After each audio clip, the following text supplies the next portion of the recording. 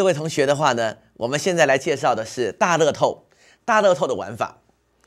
各位同学请看，大乐透是玩法是说，它是由一号到四十九号中间，然后我们的话呢选六个号码，我们选了六个号码，各位同学必须要知道的是，请问这六个号码有没有顺序的观念呢？它是没有的，没有，可不可以重复呢？不能重复。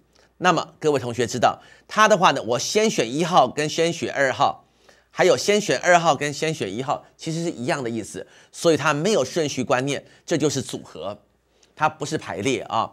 那么现在的话呢，我就这么说了，每组牌我们要包的是全餐，都要买一张，那一共要买几张？现在是零到四十九。那各位同学的话呢，如果各位同学知道我们的组合的观念的话呢，这个题目就非常简单了。有几号？有几个号码呢？四十九个号码。我们要挑几个？挑六个。我们就是 C 四十九取六。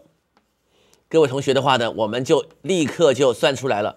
总共的话呢，我们只要买的这么多张就可以。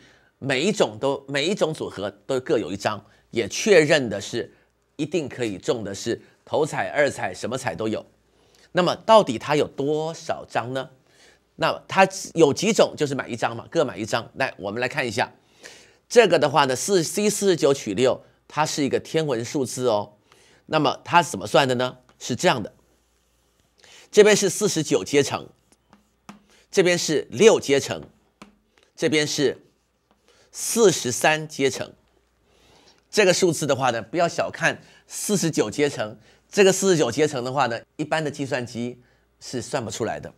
那我们的话呢，继续算下去。这个的话呢，算法也只有一种方法，叫做对消。来，我们看看四十三阶乘跟四十九阶乘对消之后变什么呢？四十九的话呢，变成四九、四十八、四七。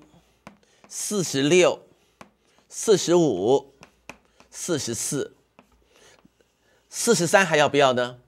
他不要了，因为他跟他对消了。这边就是六、五、四、三、二、一。然后的话呢，再采用的是对消的方法。那我来看看的话呢，这是三五十五，这边是除一下，这是八的话呢。二四得八，八六四十八。那我们现在的话呢，是这边把四十八消掉，于是我们就可以算出来了。我们要买几张就可以，每一种组合通通都有。我们要买的是四十九乘以四十七，再乘以四十六，再乘以三，再乘以四十四，这么多张。各位同学的话呢，每一种你都会被你买到。那这个这个数字，各位同学可以自己算一下。我们要大乐透要包牌，那么就要买这么多张，别忘了每一张还要五十块钱，所以还要再乘上五十。那么这个地方的话呢，就是一个组合的一个很好的一个例题。